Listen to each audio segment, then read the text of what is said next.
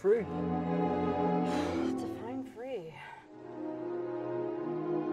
Headed home.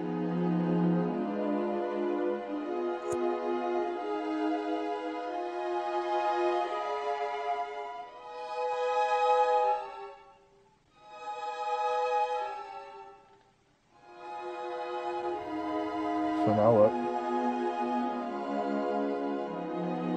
I think I'm gonna have a smoke with my old friend Jack.